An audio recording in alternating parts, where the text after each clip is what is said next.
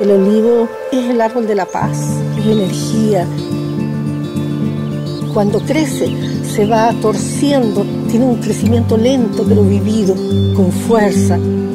Estos olivos son centenarios, han pasado tanta cosa, sobrevive a mucho. Es el árbol más fuerte.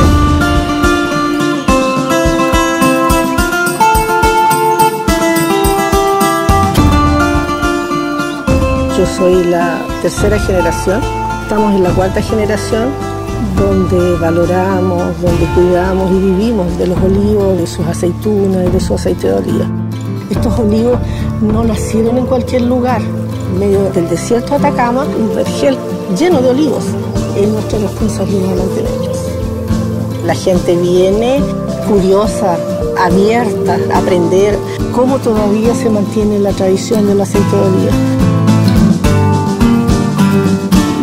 Amante de los olivos. Obviamente a todos nos pueden gustar las mismas. A mí me gusta esta que llaman aquí las sevillanas, las verdes. Es una comida sana. Esta experiencia me encantó. Merece la pena estar aquí. El desierto de Atacama es realmente increíble. La vida es casi un milagro. Es un lugar donde hay 0% humedad. Existen ingredientes que son únicos en el mundo, representan un espectro de sabores que son absolutamente atípicos en el mundo de la cocina.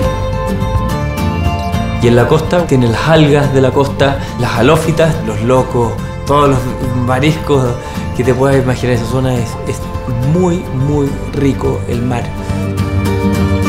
Si je devais décrire cette gastronomie chilienne, je, ce sont des plats très exotiques, très parfumés, très colorés, euh, avec des saveurs incroyables.